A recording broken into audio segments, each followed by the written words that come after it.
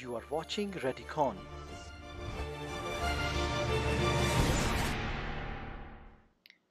Well, let's start this introduction with a question. How many of us are comfortable with doing MSK ultrasound?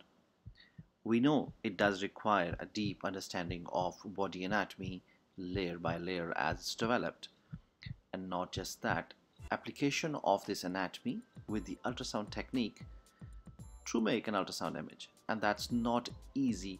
It requires fine control as well as ability to differentiate between different structures not only on the gross anatomy as is made but also on the ultrasound so you can identify tendons tendon sheaths bony cortices bursa muscles and other layers and also looking at the same structure with a different angle altogether and depth of anatomy and its perception and again ability to label different structures one by one.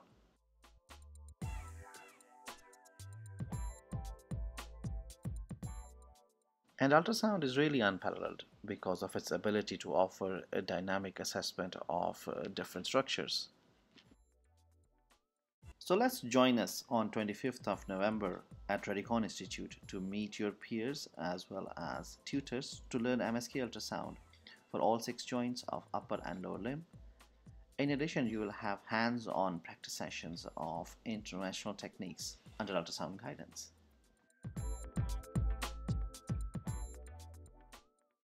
This video is presented in collaboration with Radicon Institute of Radiology.